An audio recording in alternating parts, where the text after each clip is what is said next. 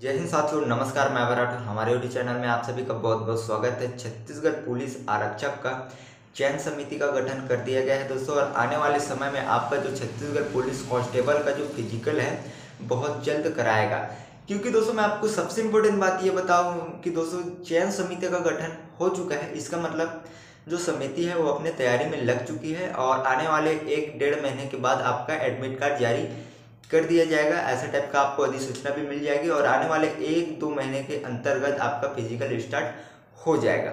अब सबसे इम्पोर्टेंट बात यह है दोस्तों कि हमारे पास समय कम है और हमको अब यह गौर लगाना होगा दोस्तों कि एक कहने का मतलब एक प्लानिंग के साथ हमको चलना होगा कि हमको कौन से जिला में ज़्यादा टारगेट करना है। क्योंकि दोस्तों इसके लिए भी एक शानदार ट्रिक समिति द्वारा दिया गया है कि कौन से ज़िले में कितना फॉर्म डाला गया है। जैसे दोस्तों मैं आपको रायपुर बता दूँ, मुंगेली बता दूँ बलौदा बाज़ार बता दूँ, बस्तर, दंतेवाड़ा, तमाम ऐसे ज़िले हैं जिनका पोस्ट बता दिया गया है और पोस्ट में कितना अप्लाई किया गया है, ये भी बता दिया गया है। और टोटल वैकेंसी की मैं यदि बात करूँ दोस्तों तो आप सभी जानते हैं पाँच हज़ार समथिंग प्लस वैकेंसी आई हुई थी, लगभग छः हज़ार के आसपास।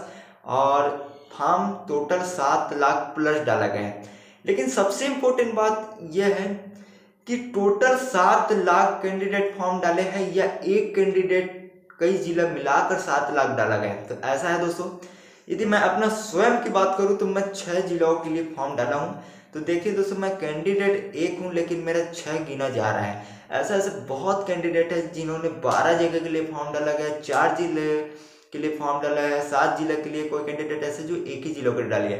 तो इन सभी को उसमें सम्मिलित किया गया और टोटल सात लाख प्लस कैंडिडेट बताया जा रहा है। तो आप घबराइएगा मत कंपटीशन कम ही जाएगा क्योंकि दोस्तों मैं खुद स्वयं एक बंदा हूँ और छह जगह के लिए मैं भर्ती दिलाऊँगा और लास्ट में एक जगह के लिए एग्ज़ाम दिलाऊँगा। तो मेरा एक ही पोस्ट को गिना जाएगा और पूरा मेरा पाँच पोस्ट खाली जाएगा।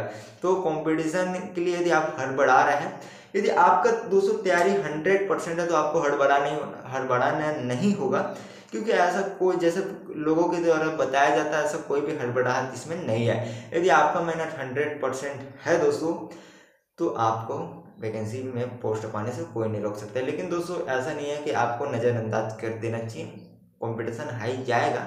क्योंकि दोस्तों, काफ़ी दिनों बाद वैकेंसी आई है और इसमें बहुत सारे कैंडिडेट का फॉर्म डाला गया है।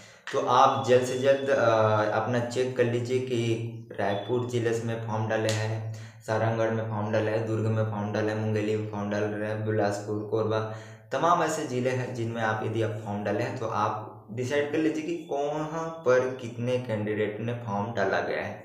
उस हिसाब से आप अपना जिला फोकस कर लीजिए और जहाँ आपका अच्छा फ़िज़िकल बनता है, वहाँ पे आप एग्ज़ाम दिलाएगा आशा करते हुए छोटा सा जानकारी आपको पसंद आएगा। नेक्स्ट वीडियो में नमस्कार।